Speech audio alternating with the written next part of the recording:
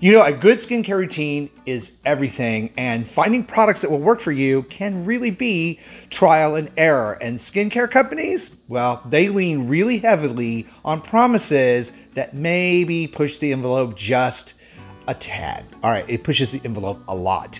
So, if you're ready to find out some skincare products and ingredients that you should absolutely avoid all the time in your skincare routine, this video is for you.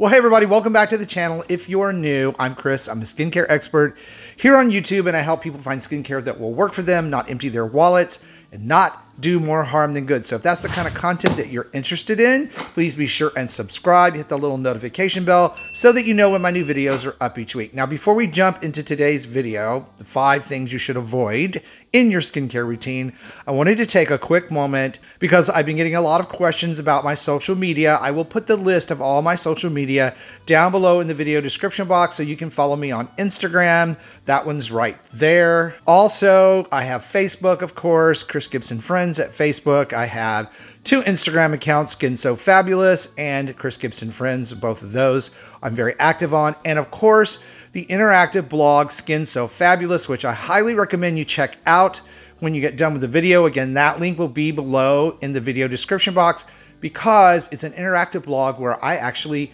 answer questions. We do contests over there that we don't do on YouTube. We give tons of skincare products away for free, and it's just a heck of a lot of fun. If you're into skincare, it's a good place to be. So, Skin So Fabulous, you can find it if you Google it, but also the link will be down below. Okay, so many of us spend, spend, spend, spend, spend, spend. This is going to take a minute. Spend, spend, spend just tons of money on skincare products. And many of those formulations and products I have reviewed here on the channel. So I wanted to simplify things by giving you a video of things not to have in your skincare routine, not to do in your skincare routine, to avoid. And I kept it down to the main five. And some of these I've talked about before on the channel in different videos, but today I'm putting them all together for you in one. The very first of which is a product that you never, ever, ever hear me recommend here on my YouTube channel, and that is makeup wipes. And I have a very good reason for that. Makeup wipes are textural, they can be very rough on the skin. They also usually have alcohol or witch hazel or some astringent ingredient in their formulation to help break down makeup, clearly so, and remove it. But that can be very over drying to skin, very harsh to skin, especially if you have dry skin or sensitive skin. And it can even be a problem for extra oily skin because stripping too much oil does what? Makes your skin produce more. The other thing that I don't like about makeup wipes is they make you pull and stretch your skin on your face, which is a big no no. We do not want to be pulling and stretching our skin on our face. We want to protect the collagen and elastin fibers in the skin layer. So that's a big no no. So I don't like them.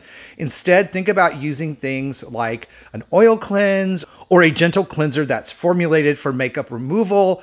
Also, you can do a double cleanse. You can also use, which I usually recommend, a micellar water step as part of that double cleanse the micellar water will help break down the makeup and oils and allow your face wash to do the job of removing them. So definitely makeup wipes on my no-no list. Next is another product that you guys have heard me talk about many times on the channel that I don't like, and that's alcohol-based toners. They can be too astringent. Any formulation that includes alcohols, denatured alcohol, stay away from that for your skin. It's just too drying, and toners are usually really not necessary these days with the skincare products and the way they're formulated. If you have a little extra oiliness or you have a pH balance problem, a toner that is designed to help improve your pH balance rather than be astringent or oil removing is a better choice. I personally like essence sprays for hydration. I think they're wonderful. Rosewater essence sprays.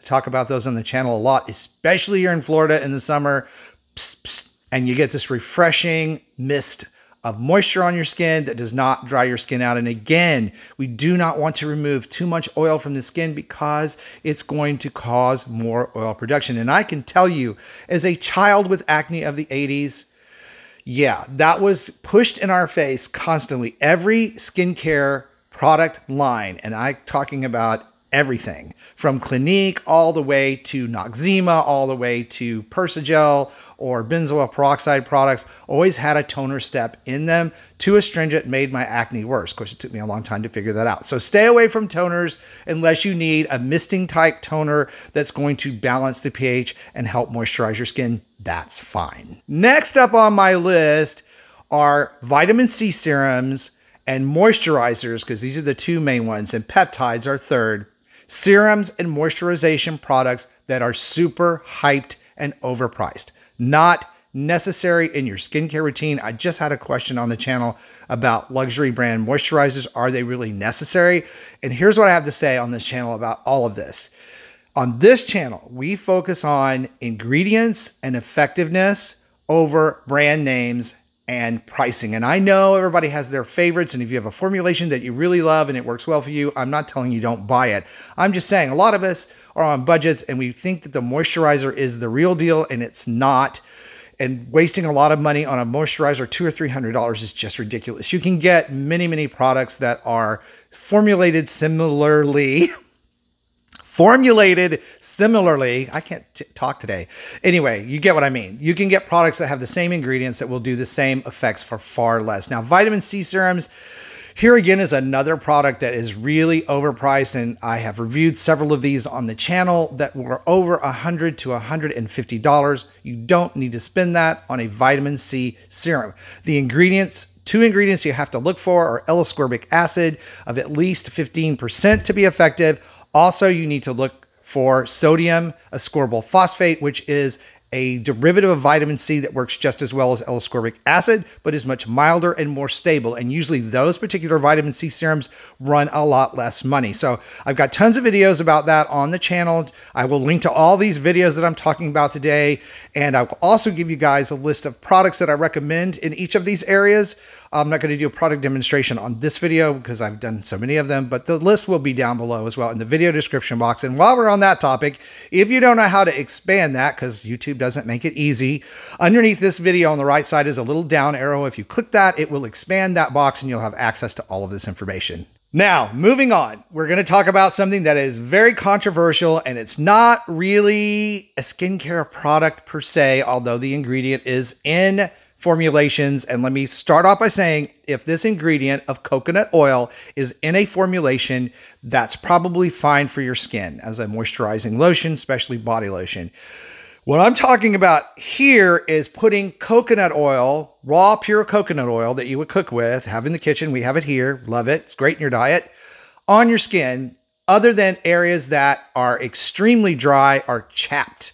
So, knees, elbows, feet, perfectly fine for a coconut oil treatment but not on the face. Coconut oil is so comedogenic. And for you guys like me that have any kind of scruff, that oil gets down around that hair follicle and hardens and blocks the bacteria and oil that would be expelled naturally. And you get all kinds of problems. I deal with this in clients all the time of every race and every color. So I know that darker skin folks really love coconut oil and it works very well for their skin, except on the face. Our pores on our face are very small and they're susceptible to more bacteria. We touch our face all the time, so please avoid coconut oil at all costs. And if you think this isn't a controversial subject, you should check out the video I did on this on coconut oil. Woo! It's gotten a lot of views and it has a lot of commentary back and forth. So if you're in the mood or have time and want to read some really funny stuff, you should read that video's comments. But anyway, suffice to say, coconut oil, great in your diet. It's good for you. It's good for things like chafing, chapping, very rough, dry, cracked skin. Perfectly fine just not on the face. Now, these next two ingredients that are in sunscreen are going to be no surprise to you if you watch my channel at all because I hate them. And that is octinoxate and oxybenzone. And the reason, well, I don't hate them, but I don't like them and I won't put them on my body. And here's why. Those two chemicals in sunscreen have been proven, proven clinically proven to be able to penetrate the blood barrier. They're also proven to be hormone disruptors. So they are problematical. And I have a lot of conjecture that comes back on the channel sometimes in comments about this because it is harder to find sunscreens, chemical sunscreens that don't have these. However, it is what it is. They are not good for you. They are not good for our ocean marine life. They cause all kinds of problems. They're banned in Hawaii. They're banned here in Florida. They're banned in resorts in Mexico and Australia. And that list grows every single year. They're just a problem. Please try to stay away from them. Now, if you're going to use a chemical sunscreen, I get it. They're hard to find without it. Avobenzone, which I still don't like because it's in that same family, has been shown to be safe, does not penetrate the blood barrier, even though I bash it routinely as a chemical in chemical sunscreen. If you're going to do the chemical sunscreen, it's okay. You can use that one. It's it's it's safe. It's the least evil of the three. Personally, as you guys know, I like mineral sunscreens. They have come so far. They don't leave that white sheen on your skin anymore, especially the really good ones. Just like this one here, which I use routinely, Neutrogena's sheer zinc for the face, SPF 50. But there are many, many zinc sunscreens that you can use under makeup, on top of makeup as a powder. Just be sure you're using your sunscreen. Sunscreen, sunscreen, sunscreen. Did I tell you you need to use sunscreen? And to say one more time, I do recommend products in each of these areas. I will put that list down below in the video description box for you rather than have you search for every single video on these topics. So going to try to make this easy for all of us. I hope this video today was helpful in understanding things you should avoid in your skincare routine. I have several videos like this. However, this is the most condensed one, so this is what you really need to know. If you avoid these, you're going to help your skin out and your skincare routine a whole, whole lot. Be sure to check out the videos that are coming up next because they're going to help you perfect your skincare routine for your best skin ever. I want to thank you guys so much for watching and supporting the channel. You know how much I appreciate it. I love you. Stay beautiful, and I'll see you over on that next video.